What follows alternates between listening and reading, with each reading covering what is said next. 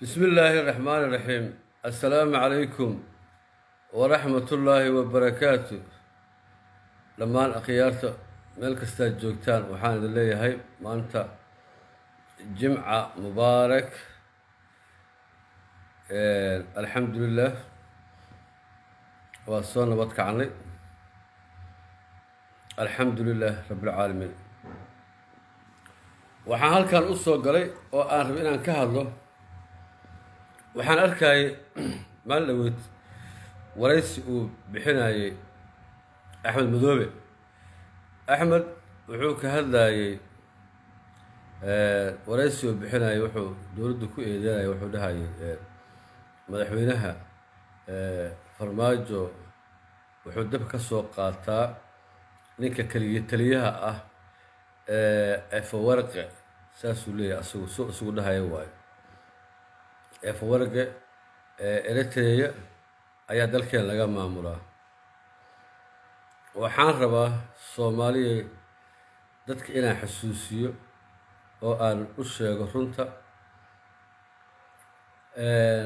dadka soomaaliyeedna ilmo caruura oo la sasabo oo la sirsiro oo maalinba war loo sheega ma ahan.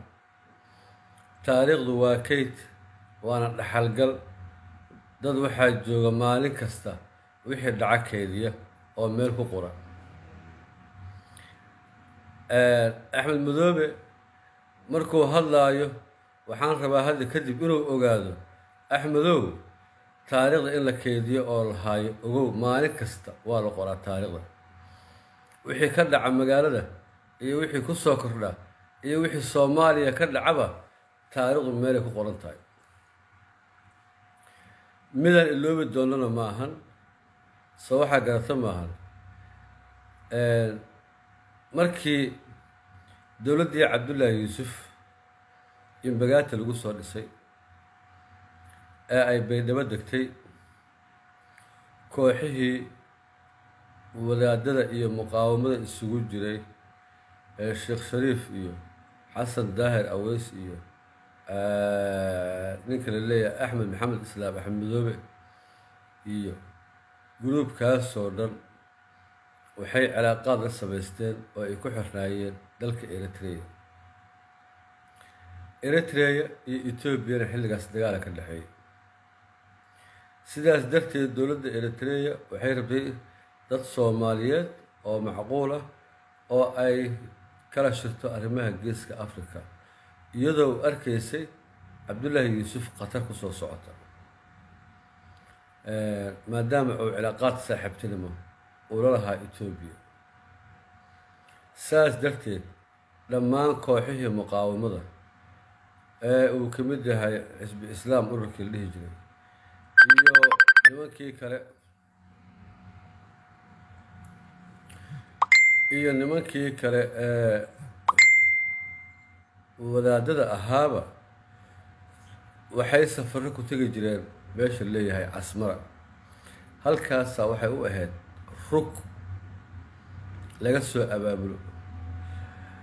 Waa uu dejiyey guryuhu siiyey efwarga waa soo dhaweeyey shalay efwarga waa fiicnaa aa la dhahayo muus waxaa la dhahaya mataqaanaa waa haliiga geeska africa waa ninkii la gacan qabtay waxaan xasuustaa in ugu yaraan shan boqoloo askari oo eritreyaan ah oo hubaysan inay dalka joogeen oo ay la dirirayeen dowladdii cabdullaahi yuusuf iyo etoobiyaankii iyagoo gacan siinaya muqaawamadii iyo nimankii xisbi islaamka ahaa. Axmed iyo gruubkiisu waa ay ku faraxsanaayeen dadka ku faraxsanaa waxaa ka mid ah xasan daahira ka mid a waxaa ka mid ah indha caddaa ka mid a oo oo aada meesha. Waxaa ka mid ah shariif sakiina ka mid a waxaa ka mid ah xasan sheikha ka mid a xasan sheekh sheekh shariifa ka mid a so waxaa garatiin maaha. Etoo eritreya halkaasay saldhig u noqotay baarlamaankii shanta boqol ahaa markii la isku diray labadii baarlamaan la isku diray shanta boqol ahaana gruubkii casmara waa kuwii lagu soo diray oo loo bixiyey mooryaangaryada loo bixiyey. Aas-aaska axmed madoobe iyo asalkoodaba waxay ahaayeen meesha la leeyahay casmara gruubay ahaayeen. Marka waxaana siib darro ah haddii madaxweyne farmaajo uu la heshiiyey eritrea oo ay ka heshiiyeen waayo soomaaliya iyo eritrea wax khilaaf weligood uma dhexeyn sababta tahay xadna ma lahan wax ka dhexeeya ma jiraan. Dalka eritrea waxay ahayd jabhad jabhaddaasoo saldhigeedu muqdisho ahaa waagii taliskii mingista yaakshiiday deganaayeen xarunay ku lahaayeen siliga yaakshiid waa la yaqaana ilaa hadda derbigii meesha ku yaalla ay deganaayeen ma garateen halkaasaa lagu tababari jiray lagu dhaqaalin jiray hub lagu sii jiray ilaa ay marka dambe taliska etoobiya ay iska xoreeyaan. Eritrea qof walbo eritreeyaan ah oo dibadda jooga markuu arko qofka soomaaliga ah waa ugu dhow yahay. Kow oo waxay u hayaan wanaag iyo kalgacal eritrea eritreyaanku badanaa waxay ku dhoofi jireen oo meel kasta ay ku mari jireen baasaboorada soomaaliga ah. Kuwa waddamada carabta laga soo tarxeelo iyagoo baasaboor soomaaliya wataan soomaaliya la keeni jiray.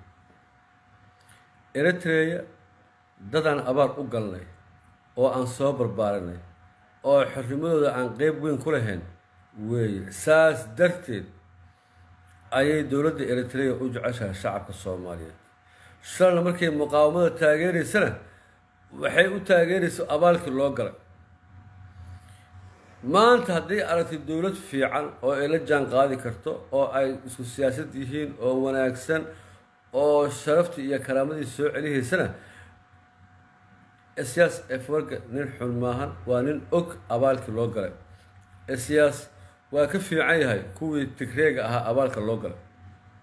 Bal ogaada ayaga iyo tigreega isku mara abaal loo galay laakiin tigree abaalkooda waxay ku soo gebagabeeyeen inay duulaan ku soo qaadaan soomaaliya.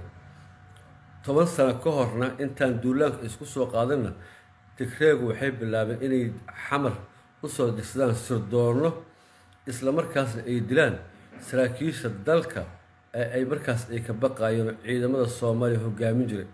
Intaan dowladdu xilligii xilligii cabdiqaasim ka hor ayay bilaabeen nimanka leeyahay tigreeg inay dadka dilaan oo ay xamar ku lahaayeen xarumo qarsoodiya oo ay ka fuleen iyo shaqaalo u shaqeeya arrintaas fuliyeed ee nimanka leeyahay tigreega. Ko dadaa waxay ku leeyihiin maanta dad waaweyn inta meel soo fadhiistaan waxay ku leeyihiin farmaajo etoobiya uu rabaa farmaajo eritrea uu rabaa. Eritrea shalay waa loo kala cararay raggan waaweyn hadda qeeldhahme axmed madoobe uu ka mid yahay iyo xasan daahir aweys iyo sheekh shariif iyo meesha laga soo aabulo hubka ka soo qaateen waayo weliba shan boqoloo ciidan la soo siiyey u dagaalamayo ognaha anaga shan boqoloo ciidana laakiin eritrea markaan runta idiin sheego waa dal u abaalgudaya shacabka soomaaliyeed. Abaalkii loo galay ogsoon. Kow adduunka waxaa ku yimaada isbeddel dowladdii tigreega ee dhibaatada nagu haysay ee kala qaybinta nagu haysay ee waxaan federaalka iyada laga soo minguriyo noo keentay meesha waa ka baxday.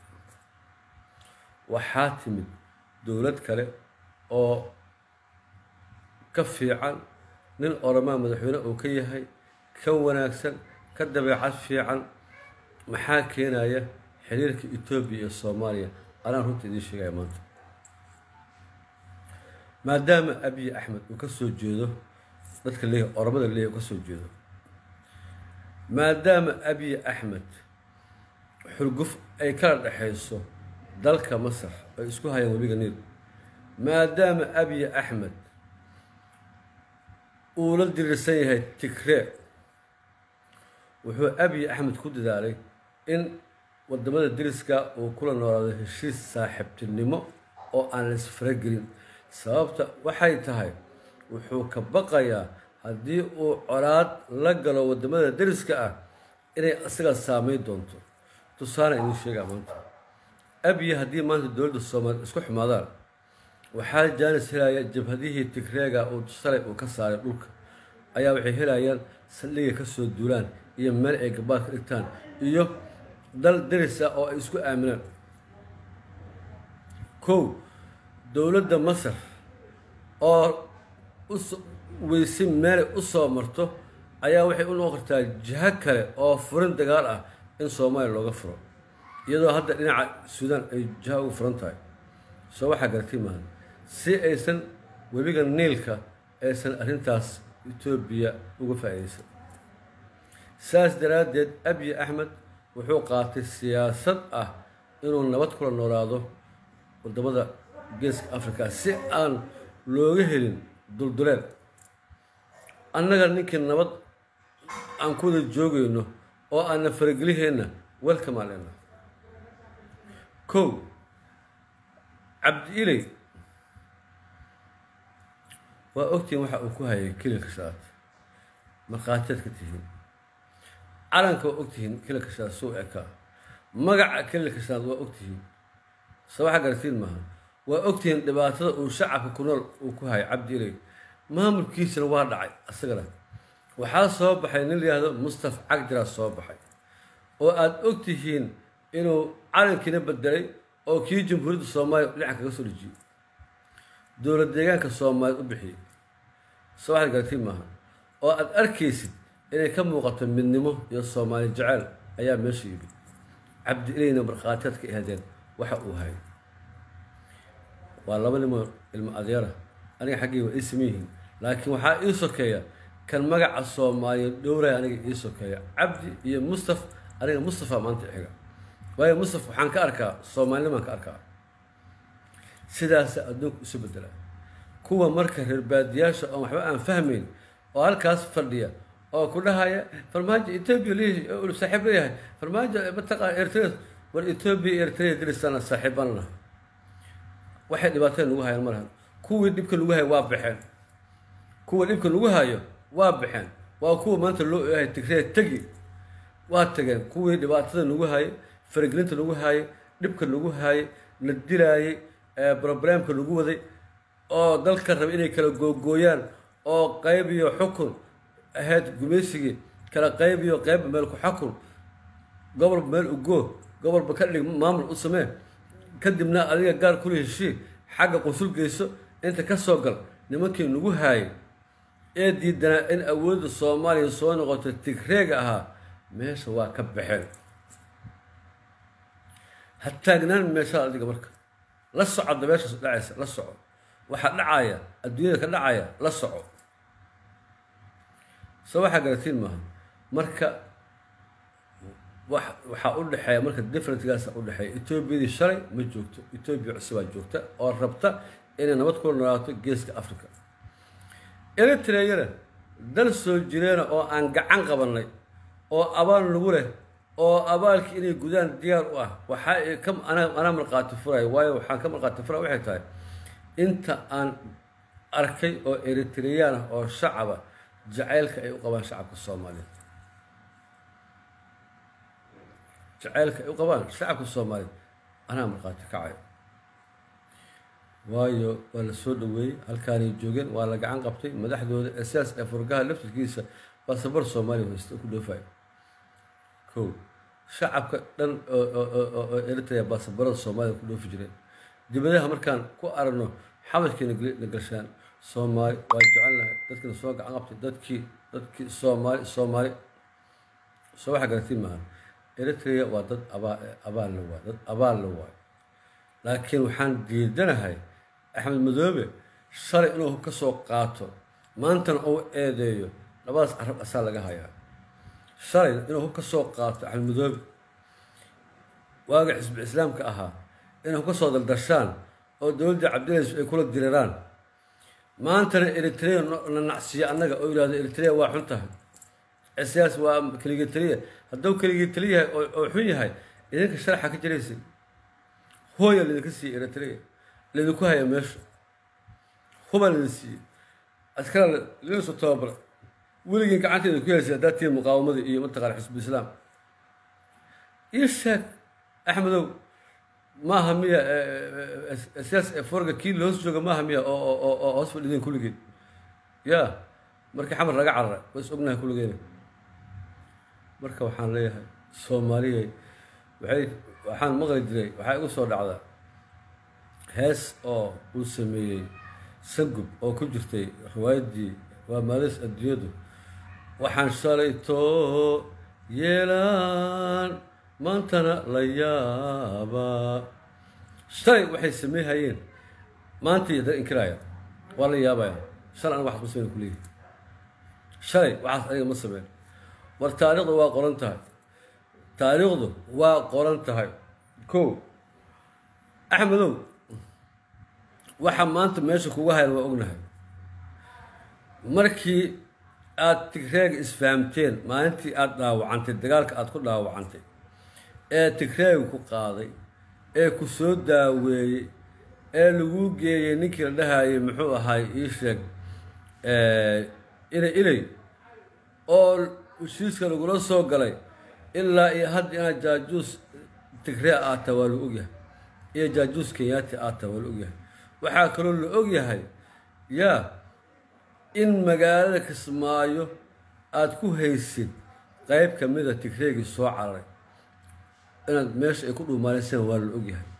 Waxaa la ogyahay liyu booliskii cabdi ilay ee soo cararay inaad meesha ku haystaa la ogyahay.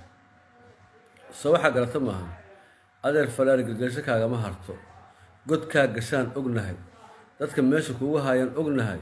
Insha allahu tacaala axmedow sii joogi maysid dalkan sii joogi maysid asalkaagii aada u nuqahee allana waa ogyahay runtaan kuu sheegayna. Taas ogow. Taas laabta gasho. Axmedow inaan jubbaland aadan ka tali doonin laabta gasho annaga adiga ku nici mayno. Qabiilna kugu nici mayno. Ogaadeen boqol kiiba boqol dad fiican oo wanaagsan oo muwaadiniina oo soomaaliya ka buuxa. Laakiin waxaan rabnaa nin soomaaliyeedoo diir soomaaliyeed leh nin soomaaliyeedoo qabki soomaaliyeed leh nin soomaaliyeedoo dhacaankiisa iyo dhiiggiisa soomaali ah ayaa loo la geyn jubbaland insha allahu tacaala. Taas ogow annagu qabiil kugu nici mayno ogaadeenna waa jecelnahay waa dad wanaagsan oo soomaaliyeed. Ma garatay? Mana tuuri karno? Sayid maxaa cabdulla xasan ka dhashay?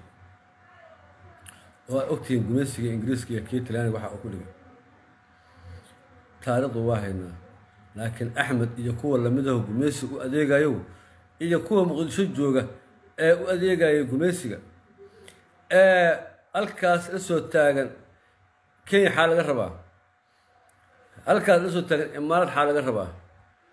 War imaaraad dekadahay nagu haystaan dekadaha soomaaliya nagu haystaan dekadaheena inay shaqeeyaan ma rabaan inay dekadaheena xilxilaan rabaan.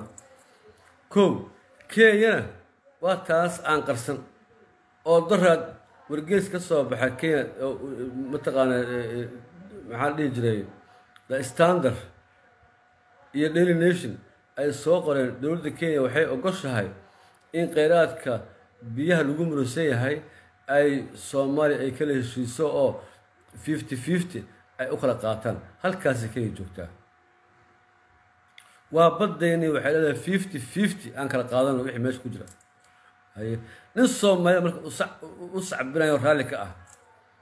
Nin soomaaliyeed ayaa u sacbinaya oo raalli ka ah inay kenya fifty fifty ay naga qaadato kheyraadka badda. Kow nin soomaaliyada wuxuu rabaa in tijaadka kenya la fasaxo. Maalin kasta laba iyo toban milyan oo dollar oo kaash ay kenya naga aado. Annaguna waxaan ku qabnay aysan jirin. Jaadka maa loo fasaxo? Jaadka see loogu fasaxa ha badeecad waaye waxay doonaan ha keenaan oo jaad ha soo gelshaan annagana badeecad ha naga qaadaan. Ha waxaan ha ha qaataan waxaa soo gelshaan laakiin inay anagu lacagteena keliya nairobi ku socoto ku socoto jaad jaad lacagteena ku socoto aqli shaqay haya maaha adduunyada taas waa ka heshiisaa. Heshiistaa la kala qortaa. Waxaan leeyahay marka waxaan leeyahay soomaaliyay kala barta oo kala ogaada nacabkiina kan gumaysiga la jira iyo kan dalka u hiilihaya ilaalihaya magaca iyo karaamada iyo sharafta ummadda soomaaliyeed hala kala barto inaad kala barataan ayaa la rabaa. Wax yaraan rabaa inaan ku darsado marka. Sideeddii februaayo labadi labadii kun iyo sideed iyo tobanka labadii kun iyo sagaal iyo tobanka ayaa waxaan waxaa la qabanqaabihaya in la qabto sanad guuradii labaad ee ka soo wareegtay markii madaxweyne farmaajo la doortay. Waa sideed iyo tobankii waa sideeddii february. Waxaa markaas dhammaaday maya sideed februaayo tobani tobaniga ahayd. Waxaa markaas dhammaaday tiyaatarka oo aada mataqaan loo dayactira ogtihiin. Waxaana soo la soo jeediyey oo la soo jeediyey in tiyaatarka markii la furaayo oo lagu beego sideeddii februaayo isla markaasna furitaanka tiyaatarka marka la furaayo in fanaaniin waaweyn oo caalam caalami ah khaasatan wadanka suudaan oo dariska aan nahay iyo fanaaniin jabuutiyana in la keeno si ay u qeyb galaan xafladda furitaanka. Waayo suudaan iyo soomaali waxaa ka dhexaysay weligeed iskaashi dhanka fanka ah. Fanaaniintooduna xaggay tegi jireen kuwooda waa noo imaan jireen. Cilaaqaadkaasa ka dhexeeya iyadoo aan ku maamuusayno marka sanad guridii saddexaad markii madaxweyne farmaajo xilka loo doortay dad badanaa ka shaqeeyey waxaa loo diray mataqaanaa muxuu ahaa biiso casuumaada gabadha suudaan ee fanaanada ahnada galca iyo rag kale waa aqbaleen madaxweyne farmaajo arrintaa loo sheegay markii loo sheegay madaxuu gacmaha saarta wuxuu yidhi yaa idiin digsaday yaa idiin digsaday ma waxaad rabtiin maalintii la i doortay sideedda february shacabkaygan soomaaliyeedoo baahan inaan fanaaniin lacag ku soo kireeyo oo ay xusaan. Maalintii aniga la i doortay loo dabaaldego oo malaayiin doolar ay ku baxdo. Yaa saas maad rabtiin. Waa la garowsaday wuxuu raalli ahaada waxa aawadiinna hala joojiyo. Qof aniga ii heesiisa iyo fanaan la ii keeni kara iyo mataqaanaa xaflad la ii dhigi kara maalinta aniga aan aan mataqaanaa ku guulaysta xilka? Ma jirto. Madaxweynuhu wuxuu sameeyey waa ogtihiin kaamamkii dadka qaxootiga oo qaxootiga ku jiray ayaa waxa u sameeyey maalintaas. Loo diray dhaqaatiir iyo daawo loo qaado. Qof kasta kaamka ay joogta inta loogu tegay la viisiteeyey qofkii jiran daawada loo qoray daawo giftiya oo la siinaya maalintaas. Laba maalmoodoo shaqada socotay wuxuu yidhi taasa iiga qiimo badan. Intii dhowr boqoloo kun oo dollar ama dhowr milyan oo dollar. Keenitaankooda diyaarad ijaarkooda hotel la dejiyo kooxdii oo dhan macaafan kooxdii macaamuskaaladii markay baxaayeen la gacan marsiiyo lacag la siiyo haddana diyaarad kiraa lagu qaado waddankooda lagu geeyo shacabkaygoon ogahay oo dhibaataysanoo qaarkood maanta ay qadayaan inaan waxaas aan sameyn xaqdarro waayo. Yaa se waxaa garatiin maaha waxay ku jirtaa youtube-yada ka arkaysaan wargeyslada ka arkaysaan kulli. Haddaad baarta arrintaas u arkaysaa soomaaliya shacabka jabuuti oo qadayaan oo baaba eber noqdana oo dhibaatada ku dhacda aada ogtihiin uu ku hayo ninka ilaahay ismaaciil cumar gel uu ku hayana waad arkaysaan xaafadda iyo dabaaldega iyo nada galca iyo fanaaniinta la soo keeno intaasoo bilyan oo dollar ay ku baxayso shacabkan u baahan jabuuti. Shacabka jabuuti ayaa u baahanoo qaarkood maanta ay ku jiraan dad aan dab shidan karin oo caawa aan dab shidan karin laguna tuma haayo labaatan milyan soddon milyan dollar dheyli lagu cayaaru hayo ilma adeeryaal ka warrama markaasaa nin halkaas soo istaago oo wuxuu ku leeyahay madaxweynaha waa dictator. Nin ka naxariis badan oo ka insaansan oo ka wanaagsan dalkaa ma soo marin nin ka naxariis badan maxaa cabdullahi farmaajo? Wallahi dalkaan soo maray iyo alayna qof ka naxariis badan oo u damqarsho badan shacabka soomaaliyeed. Oo maxamed cabdullaahi farmaajo la mid ah dalkaan ma soo marin annagaa runta idiin sheegayna waa maalin jimco ah. Marka hadalkeyga waxaan ku soo koobayaa intaas. Wasalaamu calaykum waraxmatullaahi wabarakaatu fadlan fadlan waxaa codsiga ah inaad sheergaraysaan oo ay qof walba oo mucaarad soo u gaara hadalkeyga in sha allahu tacaala waxaan rajeynaynaa wanaag. Doorashadii oo lagu guuleysta caqabadaha oo loo gudba doorasho dhacda iyo soo noqosho kale. Intaasaan rajeynaynaa wasalaamu calaykum waraxmat ullaahi wabarakaatu jimca mubaarak akhyaartayda qiimaha meel kastaa joogtaan